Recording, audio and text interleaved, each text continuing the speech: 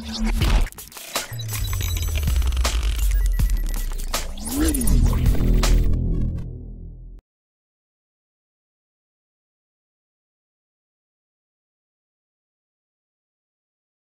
Friends sports பத்தின செய்திகளை உடனுக்குடன் தெரிஞ்சுக்கொள்ள நம்ம தமிழ் கிரிக்கெட் சேனலை சப்ஸ்கிரைப் பண்ணுங்க.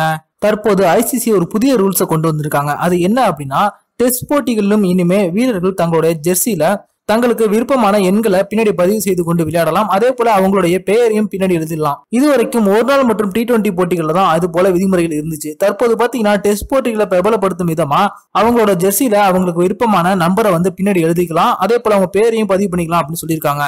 தற்போது மகேந்திர சிங் தோனி டெஸ்ட் போட்டியில இருந்து ஓய்வு பெற்று விட்ட காரணத்தினால அவருடைய ஏழு அப்படின்ற நம்பர் எந்த வீரருக்கு போகும் அப்படின்ற ஒரு பெரிய குழப்பம் எழுந்திருக்கு. அது பத்தின முழுமையான விவரத்தை பார்ப்போம்.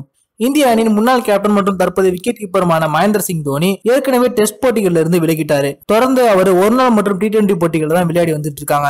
பொதுவா ஒரு நாட்டுல இருக்கக்கூடிய மிகச்சிறந்த கிரிக்கெட் வீரர் ஒருவர் கிரிக்கெட்ல இருந்து ஓய்வு பெற்றுட்டாங்க அப்படின்னா அவங்களுடைய ஜெர்சி நம்பரை வேற எந்த ஒரு வீரருக்கும் கொடுக்க மாட்டாங்க. குறிப்பா பாத்தீங்கன்னா இந்திய அணியின் முன்னாள் ஜாம்பவானான சச்சின் டெண்டுல்கர் கிரிக்கெட்ல இருந்து ஓய்வு பெற்ற பிறகு அவருடைய ஜெர்சி நம்பரான டென் அப்படின்ற இந்த நம்பர் எந்த ஒரு வீரருக்குமே கொடுக்காம இருந்தாங்க. அது அவங்கள கௌரவப்படுத்தும் விதமா பிசிசிஐ நடத்தினாங்க. தற்போது பாத்தீங்கன்னா மகேந்திர சிங் தோனி இந்த டெஸ்ட் போட்டிகள்ல இருந்து ஓய்வு பெற்று விட்டாலும் கூட அவங்களுக்கு தற்போது வருகின்ற டெஸ்ட் போட்டிகள்ல எந்த ஒரு வீரரும் தோனியோட எண்ணாகிய செவன் அப்படின்ற இந்த நம்பரை அவங்களோட ஜெர்சியில பதியக்கூடாது அப்படின்னு பிசிசிஐ வந்து அதிகாரப்பூர்வமா அறிவிச்சிருக்காங்க. என்னைக்குமே ஏழு அப்படிங்கிறது மகேந்திர சிங் தோனிக்கு மட்டுமே உரியது அப்படின்னு சொல்லியிருக்காங்க. அதனால கிரிக்கெட் வீரர்கள் எப்போதுமே பொதுவா ஒரு நாள் மற்றும் டி டுவெண்டி போட்டிகள்ல எந்த ஒரு நம்பரை பின்னாடி அணிஞ்சு கொண்டு விளையாடுவாங்களோ அதே நம்பர் தான் அவங்க பின்னாடி பதிவு பண்ணி விளையாடணும் அப்படின்னு பிசிசிஐ வலியுறுத்திருக்காங்க இது மகேந்திர சிங் தோனிக்கு பிசிசிஐ கொடுக்கும் ஒரு பெரிய கௌரவமாகவே பார்க்கப்படுகிறது. இந்த செய்தி தற்போது மகேந்திர சிங் தோனி ரசிகர்களுக்கு ஒரு பெரிய மகிழ்ச்சி ஏற்படுத்தியிருக்கு. காரணம் என்ன அப்படின்னா மகேந்திர சிங் தோனியோட இடத்தை எப்போதுமே எந்த ஒரு வீரராலும் நிரப்ப முடியாது அப்படிங்கிறதுக்கு இது ஒரு பெரிய உதாரணமாகவும் பார்க்கப்படுகிறது. இந்த வீடியோ உங்களுக்கு பிடிச்சிருந்துச்சுன்னா லைக் பண்ணுங்க ஷேர் பண்ணுங்க. நன்றி.